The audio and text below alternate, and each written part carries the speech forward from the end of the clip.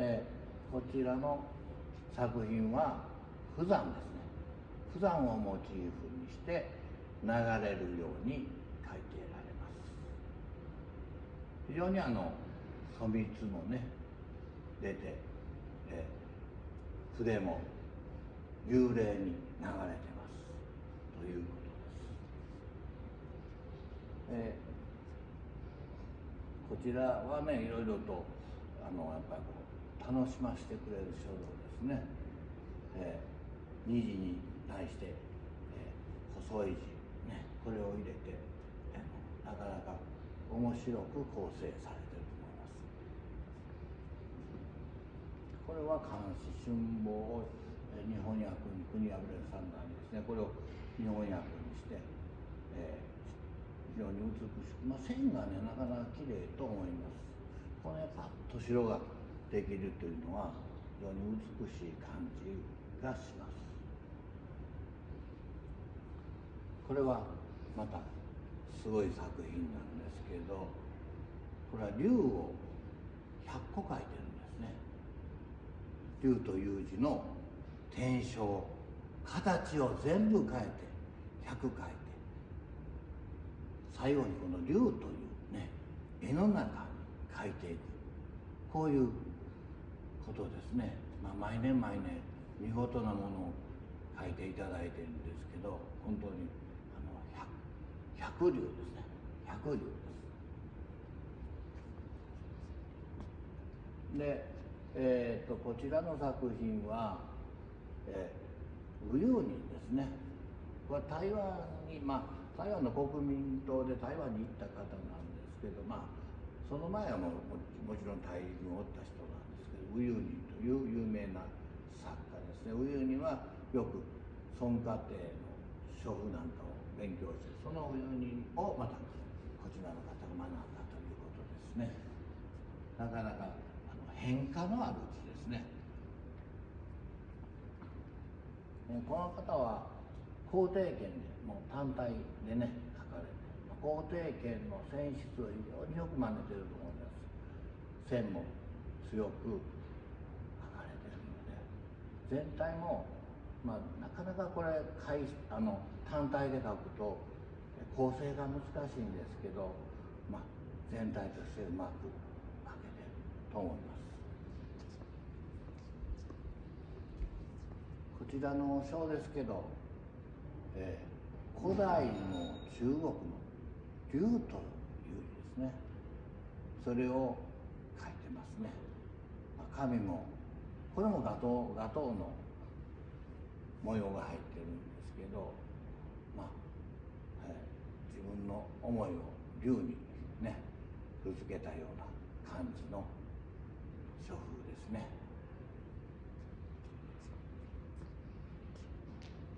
これはあの臨書なんですけど普段の臨書ですね、まあ、よく書けてると思いますけどね、えー、その普段の筆運びの流れねをよく学んだと思います。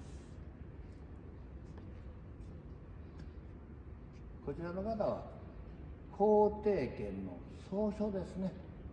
要書じゃなくて草書の方を学んで自分の作風としてしてはります。墨がねよく入ってて美しいと思います。それともう一個は大小の変化ですね、まあ、文字の大小の変化はなかなか難しいですけど行間がぶつかってしまったりするんですけどその辺もうまく考えて横との対話ね考えてます。えー、かなですね。これはあのちょっと近くに寄ってもらった方がいいので非常に美しいかなですね。この仮名の縦線の流れとか非常に綺麗な綺麗によく出てます。これこんだけ書いて一字も間違うことなく書いてられます。まあこれを一一気に書こうと思うと5時間ほどかかるんではないかと思います。私はこんな細かいのを長々と書いたことがありませんので分かりませんけど、まあ、とりあえず非常に静かな心でゆっくりと書かないとこれだけは書けないと思います。えこちらの先生は、え単体のね文字ですね。これを書いて作品としてあります。墨もね今回なかなか入ってていいです。まあこれも、えー、明の作品をモチーフとして書かれました。次。こちらのこちらもやっぱ民心を主にしてまあちょっと長髄とも入れながら書いてられると思います。全体として、まあ、力強さも備わってていいかなと思います、まあ、うち五小石してる人が多いんですけどこちらの方も五小石ですね。五小石の文字を作風にして力強く書いてられます、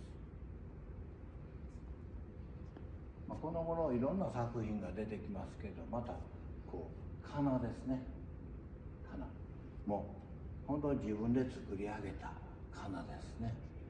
流れも美しくよく書けてると思います。この人は臨床ではなく自分で創作ですね。そういった具合にきれいに、えー、まあきれいというよりもどちらかというとえ抑揚のあるね文字を書いてあります。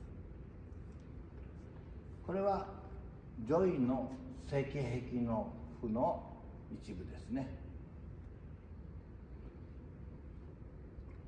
外場の赤壁の賦を徐渭が書いてその徐渭の真似をして臨書したということですね。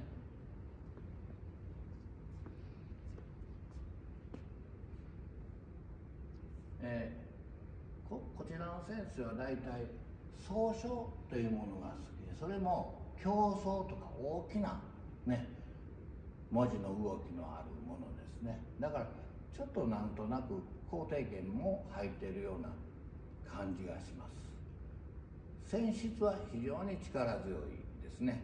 字の形がちょっと肯定権らしいところがあります。この作品も非常に面白いですね、えー、流れを非常に大切にしてやっぱりこれも、えー、競争とか大きい総称ですね。書いてる。まあ、全体はよくまとまってます。まあ細い線で、えー、ある程度の線の硬さを持って書かれたものです。まあ、これはちょっと長髄と風ですね。墨もよく入って筆使いも非常にいいと思います。これも長髄と風ですね。ちょっと全然感じが違うんですけれどこれはまあ本人のいつも捉え方になってきます。この作品はまあ民民心ですね。大田区不山というところら辺の漢字を取り入れて特に行間に対しては、えー、まく大きい字をがあってもそれが、えー、邪魔にならないようにうまく書かれたものと思います。こちらの方は肯定権をモチーフとして書いてられて、まあ、線の深さですね。これがいいと思います。これもどちらかというと不山とか大田区とかそういった感じですね。これはちょっと長随書とか限度とかそういったところら辺の書き方に似てまあ民心ですね。やっぱ民心をモチーフとして書いた書。